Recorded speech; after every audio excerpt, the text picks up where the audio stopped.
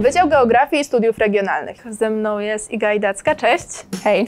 Jakie kierunki można studiować na Waszym wydziale? E, Na naszym wydziale można studiować e, geografię, oczywiście, e, oraz gospodarkę przestrzenną. Jak wygląda proces rekrutacji? Wygląda tak jak na wszystkich innych wydziałach, nie ma nic dodatkowego, głównie jest to IRK. Dla kogo jest to dobry wybór? Jest to dobry wybór dla osób zainteresowanych środowiskiem przyrodniczym, społeczeństwem e, i im, ich funkcjonowaniem, e, również e, zainteresowanych nowoczesnymi technologiami e, wykorzystywania, analizowania i e, przetwarzania e, danych dotyczących środowiska e, przyrodniczego. Z czego jako wydział jesteście najbardziej dumni? Najbardziej dumni jesteśmy chyba z takiego naszego topowego wy wydarzenia samorządowego, którym jest Ogarnij Gegrę.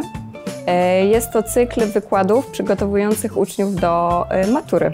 E, Pięciodniowy, pięciodniowe wydarzenie, które odbywa się w godzinach popołudniowo-wieczornych.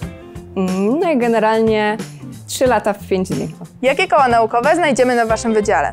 E, Na naszym wydziale działa bardzo dużo kół naukowych. E, Z tych, których, które jestem w stanie teraz wymienić, jest to koło naukowe studentów geografii, które działa od bardzo dawna.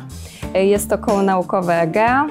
Jest to również koło naukowe Spatium, czyli koło naukowe gospodarki przestrzennej. Również jest koło naukowe geoinformatyki i teledetekcji. Jakie możliwości czekają na studentów po ukończeniu tego wydziału?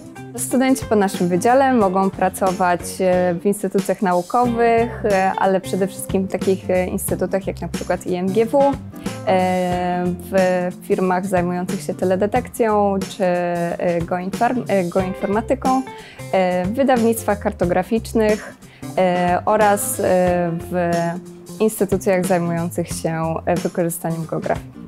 Student Wydziału Geografii to? E, Jest to pasjonat, e, osoba, która interesuje się zarówno środowiskiem, którego, którego otacza, e, oraz zjawiskami pomiędzy środowiskiem a społeczeństwem, no i osoba, która czuje geografię w swoim sercu. Dziękuję za rozmowę.